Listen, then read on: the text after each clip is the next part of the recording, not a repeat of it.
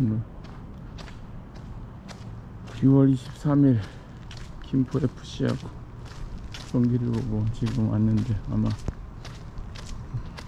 10시 29분쯤 된 것 같아 1029 어. 23rd of June in 2024 오늘은 일요일입니다. Sunday 김포 FC하고 부산 아이파크하고 하는 경기를 직관을 했습니다. 축구 경기를 아마 경기장에서 본 건 아마 난생 처음 같은데 나도 이 나이 먹고 본 적이 있나 모르겠다. 처음 같죠? 저 우리 사모 정수를 데리고 같이 갔다 왔어요. 아주 재밌었어요 한 골 들어가는 것도 봤어요. 헤딩 골 헤딩 슛. 헤드 하, 날씨도 좋고. 아, 비도 조금 왔으니까 미세먼지도 더 없어졌겠는데?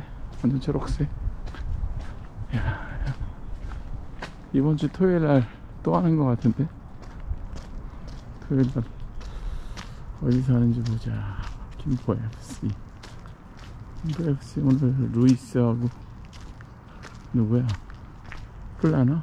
어 유고슬라비아 출신이고 그 다음에 루이스 미나는 아사라비아 콜롬비아 출신이에요.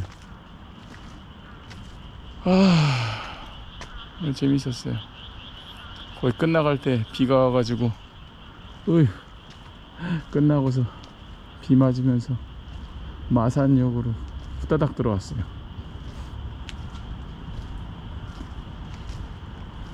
아, 이런 게 행복의 낙인가?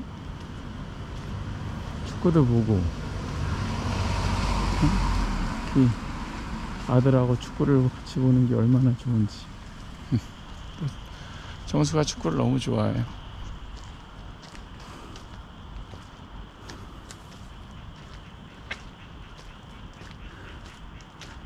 요진호 ICT가 저기 보이네.